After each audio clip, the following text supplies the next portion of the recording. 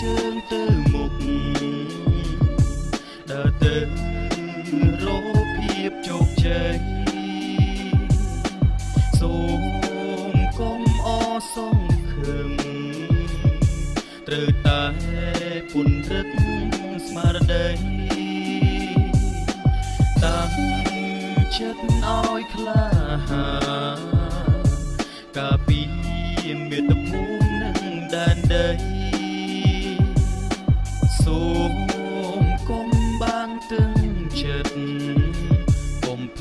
យផិតអីណាជនប្រុសស្រីយើងមានជីវិតរស់ឃើញព្រះអាទិត្យជាកលបុត្រមានចលនាគំនិត មានឆន្ទៈជាអ្នកដែលអស្ចារ្យកុំបំផ្លាញវប្បធម៌គេដំណែលដូនតាយើង មានទឹកមានដីគួរតែការពាររក្សាប្រពៃណីអ្នកក្រអ្នកមានជាឈាមជួរតែមួយ គួរតែអភិវឌ្ឍរួមគ្នាឲ្យលើកស្ទួយ យើងមានសំណាងកើតនៅកម្ពុជា ស្រុកដ៏ផូរផង់មានតម្លៃមហិមាប៉ុន្តែយើងមិនដែលខ្វល់ខ្វាយមនុស្សក្នុងសង្គមគិតតែពីរឿងសបាយព្រោះតែមុខមាត់គេទៅយួរក៏ស៊ីចូលសង្គមស្ទើររលាយគេនាំគ្នាស្រែកហូអ្នកក្រគ្មានសិទ្ធិប្រឆាំងនឹងទប់ស្កាត់ អ្នកមានមានអំណាចមិនអើពើក៏ដេកបាត់បាក់សាមគ្គីឆ្លោះគ្នាដណ្ដើមដីចុងក្រោយលទ្ធផលបានទៅសាដតីគេចាំតែមើលពេលខ្មែរបែកបាក់ហើយសាសមួយចំនួន គឺជាជនឆ្លៀតឱកាសចាំតែលួចប្លន់ពេលយើងបរាជ័យព្រោះស្រុកកម្ពុជាជាប្រទេសដ៏ល្បីចាំតែលួចប្លន់ពេលយើងបរាជ័យព្រោះស្រុកកម្ពុជាជាប្រទេសដ៏ល្បីយើងឈានជើងទៅ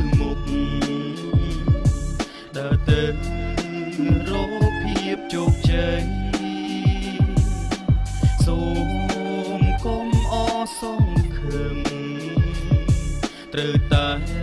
ពុនរឹកស្មារតីតាំង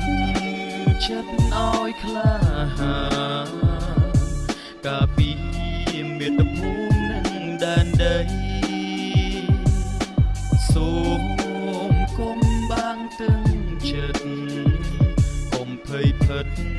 អីណាជនប្រុសស្រី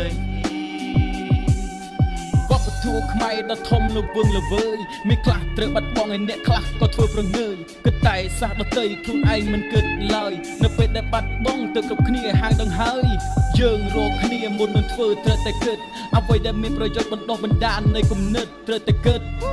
ព្រោះតែយើងខ្មែរតែមួយបើយើងមិនអើពើតែមាននរណាមកជួយអាសង្គមពេញនិយមតែរឿងដែលឥតប្រយោជន៍វប្បធម៌ប្រពៃណីត្រូវបាត់បង់ស្ទើរហិនហោចតើថ្ងៃមុខពួកយើងនៅសល់អ្វីនៅពេលដែលខ្ញុំគិតវាធ្វើឲ្យខ្ញុំនៅស្រមៃឃើញតែរឿងស្មុគគ្រោកដែលឆ្លុះបញ្ចាំងរៀងរាល់ថ្ងៃបច្ចុប្បន្ននេះគឺត្រូវការសាមគ្គី បើយើងបែកបាក់សាសដតីនឹងជន់ឈ្លី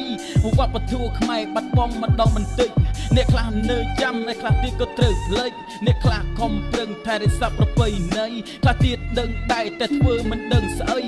ប្បធម៌គេសាប់ព្រោះពេញស្រុកខ្មែរឯវប្បធម៌យើងត្រូវបាត់បង់ជាហោហែមិនសូវគ្រប់គ្រងមិនសូវចេះខ្វាយខ្វល់ទើបសង្គមមួយនេះប្រជាច្របូកច្របល់ខ្ញុំអាសូរណាស់ដល់អ្នកចំនួនក្រោយផ្លូវមួយនេះមិនតែទទឹងតែគ្មានបណ្ដោយមិនដឹងថាពេលណាវប្បធម៌រីដោះដាល់ផ្សព្វផ្សាយអរិយធម៌ដល់ពីពេញចក្រវាលផ្សាយអរិយធម៌ដល់ពី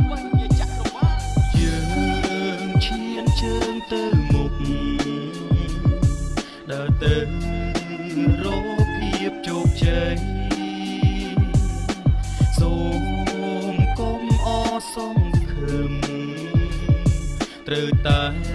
ពុនរឹកស្មារតីតាំង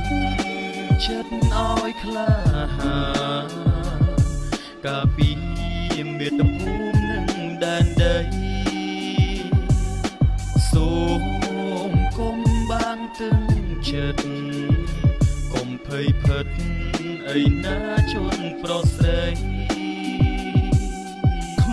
ប្រាសាទវប្បធម៌ប្រពៃណីជាតំបន់បារមីប្រទេសលបាញ់ល្បីពីមុនឥតខ្ចោះគ្មានចន្លោះយ៉ាងផូរផង់ឥឡូវសាបរលាបស្ទើរតែបាត់បង់ស្រីហើយនឹងប្រុសពួកវីយ៉ាងក្រៃលែងទំពាំងស្នងរិស័យស្អុយតាំងពីនៅក្មេងហើយតើពេលណាទៅយើងចេះគិតគូរ ឲ្យអ្នកចំនួនក្រោយត្រាប់តាមជាគំរូបើវប្បធម៌រលត់ជាតិសាសន៍ក៏រលាយបើសិនជាសាបសូន្យគ្មានពាក្យត្រូវនិយាយប្រទេសចិត្តខាងមួយចំនួនជាចៅស្រុកគ្រប់វេលានាលេកាគេចាំតែវាយលោកស្ទៀវគិតតែអួតអំនួតរឿងកាប់ដាវឆ្លោះគ្នាដណ្ដើមស្រីកាប់ចាក់ឡើងសាហាវរស់លើផែនដីចង្រៃដល់ជាតិសាសន៍អនិច្ចាសិលធម៌ខ្ញុំពិតជាអាម៉ាស់ អរិយធម៌មិនសូវជាផ្សព្វផ្សាយពួកតែវប្បធម៌គេធ្វើឲ្យជាតិអន្តរាយប្រុសខ្លាចជាញីឯនារីខ្លាចជាឈ្មោលលិចលើលិចក្រោមភ្លេចផាមួងភ្លេចហូលអ្នកខ្លះខ្លួនជាស្រីនិយាយគ្មានគេខ្មាស់ជន់ឈ្លីនៅវប្បធម៌អាម៉ាស់ដល់ពូជសាសន៍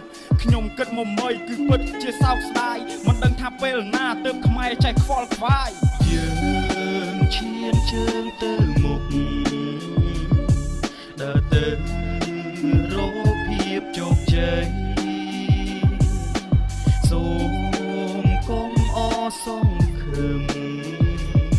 ត្រូវតែ